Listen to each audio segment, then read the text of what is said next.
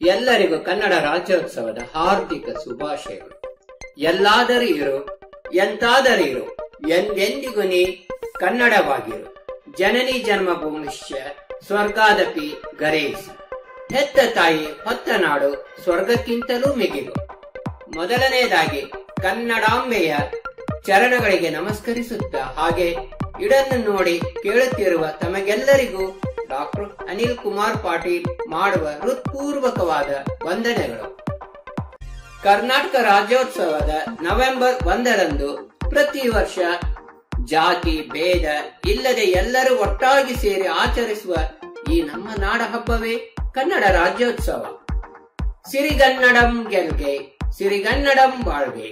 Jai Bhuvaneshwari.